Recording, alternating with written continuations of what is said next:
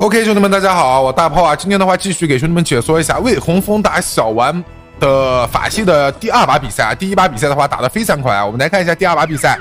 第二把比赛的话，呃，魏洪峰武装关那边的话，提前的话先丢了破甲，可能对面也是非常懂啊，就是法系能赢武装冠的话，可能只有一种可能，就是五十六回合七点零元，就是你七点零元没有起之前的话，应该是。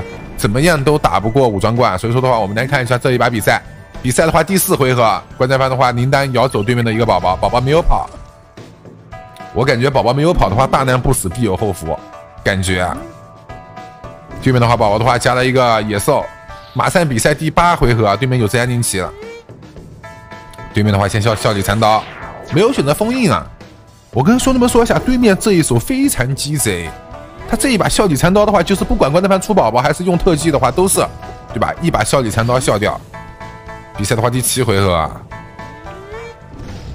对面的话可以起升安定期了。你看，我都跟兄弟们说了，魏红峰啊，他除了耗硬件不好啊，宝宝的话是没有高级，呃，没有什么，没有高级慧根、高级冥思色诱一些，给宝宝点了个蓝灯啊。比赛的话，第九回合，宝宝清掉。对面的话选择先封人，再出宝宝，没有封中。啊，这个宝宝的话是精心一剑啊。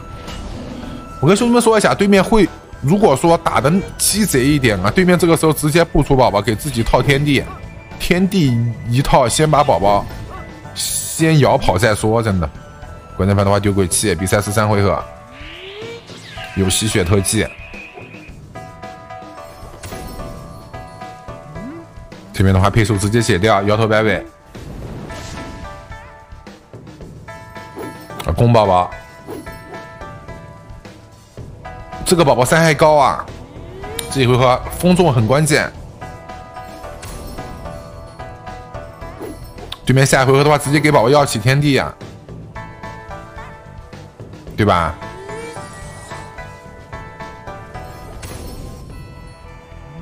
关键番很懂啊，没有解自己啊。这个时候对面给宝宝加这些令旗有点无解，对吧？啊，其实炮哥打环攻真的厉害，兄弟们。我跟兄弟们说一下，兄弟们是我粉丝，被人家欺负了，要打什么环攻啊，都找炮哥，真的。炮哥免费帮兄弟们操作，真的。我打环攻是真的猛。比赛十七回合，对面出了个孩子。还有斯托宁的孩子吗？现在第一斯托孩子，斯托孩子是什么鬼啊？啊，有高级鬼魂术。关战番的话有壁的击破在，对面的话也不太好起那个天地啊。我跟兄弟们说一下，这个时候的话，关战番法系的五龙丹就不多了呀。然后这边出了一个配速，出了个仙灵激发。那出仙灵激发的话，对面直接打天地就可以了呀。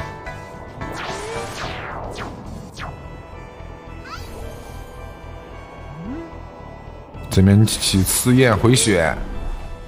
关战番能赢比赛的点一定是五十六回合起宁远啊！看一下对面给不给机会啊？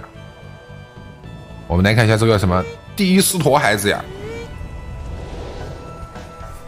狮驼孩子会连环期啊！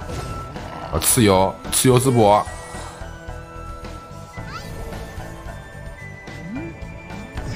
宝宝有天地啊！我跟兄弟们说一下，你就不用想着来清武装罐的宝宝了，因为百分之百是要起天地的呀！关键番打光辉之甲，这个时候宝宝清不掉啊！一个蚩尤之波六千一，兄弟们。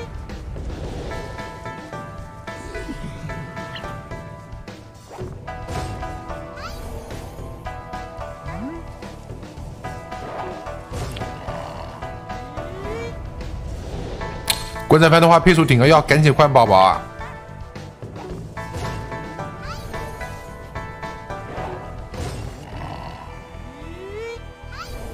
对面的话给关战番丢 丢了一个无字经啊！无字经的话是不可以起被动法宝啊，什么金甲什么都起不了，直接笛子加一个旗子，这一把蚩尤之波，兄弟们，一万五一把蚩尤之波。哇，这宝宝真猛啊！哇，这啊，兄弟们，观战盘出了个配速，配速没有用啊！一个自由淄博，真的，这跟打沙包一样，兄弟们，二十个药一个药没吃啊，兄弟们！观战盘这个时候出公宝宝了，感觉没有什么用了，兄弟们。再加敌，二十个药一个药没吃，兄弟们，你敢信？人物满血，宝宝差不多也是满血。比赛三四五回合，宝宝有高鬼魂了，对面出地听了。这一把地听的话，血都没加给我的，兄弟们。比赛三十七回合，没须弥，别拉错。OK，咱们下局再见啊！比赛的话，魏红峰的比赛还是特别精彩。